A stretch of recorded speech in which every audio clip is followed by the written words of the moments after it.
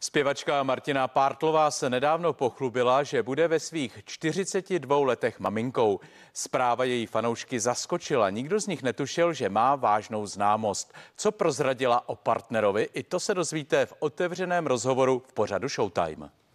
Já jsem vlastně dítě chtěla za každou cenu. Do toho se mi hodili eh, vidle právě s, s nádorem, takže jsem vlastně otěhotněla, když jsme ho nechali odstranit. Ale, ale jako dítě jsem chtěla a určitě to nebylo jenom tím, že jsem potkala Pepu.